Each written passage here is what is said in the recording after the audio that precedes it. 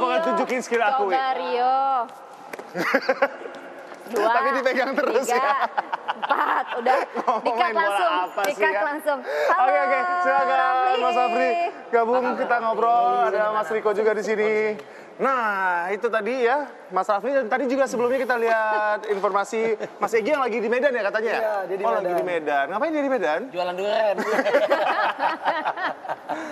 Enak dong. Pulang lagi libur. Oh, Semua kan lagi diliburin. libur. Oh, gitu. Ini udah lagi libur dulu. Libur latihan. Libur Pasca latihan. eh, bertanding di Ya, di Myanmar Myanmar. kemarin ya, AFF U19 ya. Eh, bisa ceritain gimana Mas Rafli pengalamannya? Ya kita ada pengalaman. Aku juga nah, kalau pengalaman sih seneng ya bisa main di Hmm, Myanmar, bisa bela negara, bisa bela bangsa. Cuman menurut aku kita juga harus bisa memberikan yang terbaik kemarin. Cuman memang belum rezekinya kita memberikan yang terbaik. Iya sih. Tapi kita sudah- tetap sudah beri cukup puas ya lah. sebenarnya. Iya, Indonesia tetap bangga Iya, ya betul. dengan timnas kemarin yang bertanding di Myanmar. Nah, tapi ke- kalau kemarin kita lihat ya, eh, Mas Riko perhatiin juga tuh pertandingan-pertandingan yang kemarin. Suka nonton ya. Nonton juga ya. Iya. Gimana ngikutin nggak eh, kemarin mereka ini sampai akhirnya ke- terakhir lawan Terakhir lawan Kalau Myanmar kemarin. empat. Myanmar ya. itu Lawan yang- tuan rumah sendiri Oke, ya. Iya, tuan rumah sendiri ya. Oke.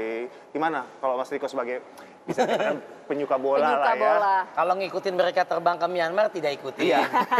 Saya di rumah. dong. Saya juga taunya detail memang kan ini Garuda Muda memang baik sekali. Makanya sebelumnya kekalahan mereka sendiri kalau di teman-teman saya pribadi penikmat bola yang suka main hobi bola ada teman kan di grup banyak tuh kita punya grup WhatsApp itu. Yang saya tahu tidak ada sedikit pun kasarnya tuh celaan atau mengkritisi. Betul, betul, betul. Karena memang kalau saya pribadi melihat kalahnya cuma karena apes aja. Ya. Hasil akhir tidak menguntungkan. Selebihnya permainan, skill, teamwork, saya lihat Bagus chemistry-nya ya, ya. antara pelatih dengan pemain udah oke banget. Udah oke ya. Hanya karena sundulan yang terakhir nggak masuk akhirnya apa ya tos-tosan ya sorry ya. Iya. Dan adu penalti. Adu penalti. Iya, adu penalti kalah gitu. Udah itu, Itu aja. dia. Lebihnya cukup bagus. Dia cetak Yang 6 gol lagi juga. Oke ya. Oke. Nah, kita ini mau bergabung bersama pelatihnya dari Mas Rafli juga ya. Ya. Ada Pak Indra. Pak Indra Syafri, selamat pagi. Halo Pak Indra Syafri. Selamat pagi Pak Indra. Ini kita sudah ada Mas Rafli di sini sama Mas Riko juga ngobrol-ngobrol tentang ada pertandingan yang kemarin kita Ya. lihat ya, Ya. tentang AFF U19. Selamat pagi, Pak Indra. Oke, nanti kita akan coba lagi ya. Lagi kita masih ngobrol-ngobrol dulu, masih bersama Mas Rafli. Mungkin ya Pak Indra lagi bikin kopi kali ya, pagi-pagi. Kan budak di Jogja. Nanti kita coba telepon lagi. Nanti kita coba telepon lagi. Nah, tapi kalau misalnya kita lihat kemarin eh, berapa lama di sana selama Hampir pertandingan? dua minggu. Hampir Dua dua minggu. minggu ya. Oke. Latihannya udah persiapan berapa lama sebelum jalan ke sana? Kalau persiapan sih kita sudah lama. Hmm. Eh, kalau persiapan udah hampir dua bulan. Nah, terus ketika pas persiapan khususnya seminggu. Siapa lawan yang paling berat kemarin di tim Myanmar?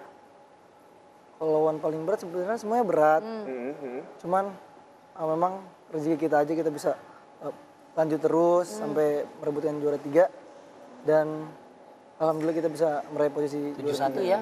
Ya itu lawan Tuan rumah. tuan rumah. Ya. Oke. Oke. Nah, kalau ngomongin tentang pertandingan-pertandingan yang sudah kita ya saksikan kemarin-kemarin Iya. gitu ya, ini sepertinya menjadi suatu hal yang cukup dibanggakan sebenarnya Wi karena Betul. ya kita bisa dikategorikan kemarin ke tiga besar ya jadinya ya. Iya tiga besar. Indonesia Semifinal jadi ya. ke uh, urutan ketiga di AFF U19 kemarin, kemarin gitu ya. Tapi kalau misalnya target ke depan apa nih rencana kira-kira?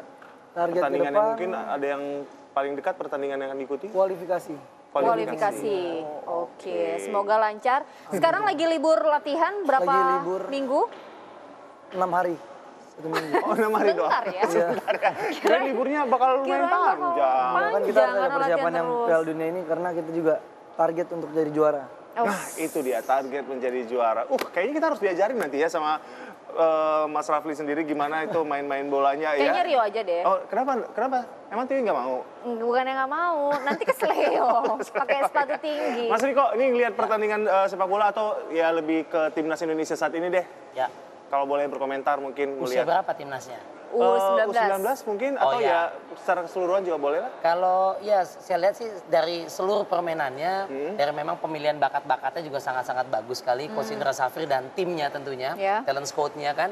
Dan mereka juga rata-rata memang punya skill yang cukup bagus. Ya. Postur tubuh tinggi yang juga nggak kalah dengan negara-negara di kawasan Asia, Asia Tenggara. Mereka punya jam terbang juga cukup, sudah mulai cukup lumayan. Punya percaya diri cukup bagus, chemistry udah kebentuk, strategi yang juga diracik cukup baik. Enggak, saya lihat tidak tidak ada celak menurut saya ya. Teman-teman juga kan biasanya rame itu di media sosial, Iya, iya. di teman-teman banyak. Iya, betul, Karena memang betul, hasil betul. akhir aja kok yang kemarin membuat Kurang Garuda Muda beruntung kalah ya. kos-tosan. adu Dan penalti permainan sama ini bisa Thailand. dinikmati sepertinya ya kalau kita Sangat. lihat Jadi ya. skemanya iya, benar-benar- aku setuju sama Mas Riko karena kemarin itu kayak ya biasanya pasti ada mungkin ya bulian segala macam di Ya. media sosial tapi sepertinya Betul. tidak terlalu ada yang menunjukkan Mencecar hal ya. itu ya, mencecar hal Dan mereka itu masih ya. sangat muda, pulang dari sana nih udah banyak tawaran klub-klub di Indonesia. Wah, Liga 1, Liga 2 banyak klub-klub besar udah. Rafli udah banyak telepon berarti ya? Udah ada, telepon nawarin ada cuma harus ada Fokus dulu. fokus ini ke Piala Dunia dulu. Oh gitu, fokus ke Piala Dunia. Nanti kita ngobrol-ngobrol lagi karena Ya. ternyata Tiwi perjalanan seorang Rafli ini juga tidak mudah ya. Hmm. Dari dia ternyata juga dilirik awalnya di main santri saat itu Iya, ya. aku di pesantren. Liga santri. satu. Jadi awalnya dari pondok pesantren. Iya. Tuh, nanti ya kita ngobrol-ngobrol ya perjalanan hidup seorang Rafli. Itu bahasa yang berat banget ya. Ya udah deh, tetap di intermezzo ya. Banyak Banyak, info, info, nggak bikin kepo. kepo.